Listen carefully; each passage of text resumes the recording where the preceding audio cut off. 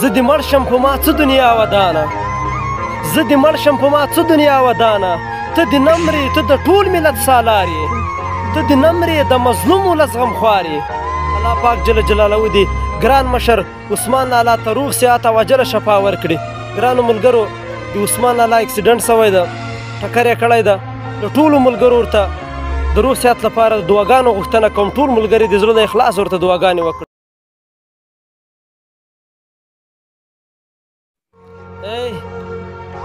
زه دې مړ شم په ما څه دنیا ودانه زه دې